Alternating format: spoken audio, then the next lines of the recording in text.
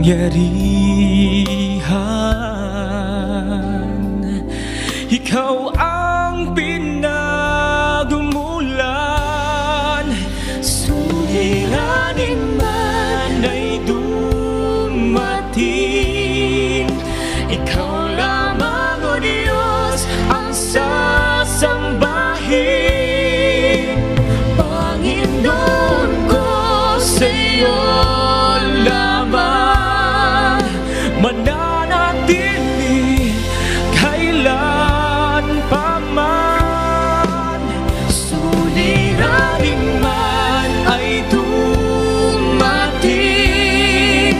Ikaw lamang, O Diyos, ang sasambahin.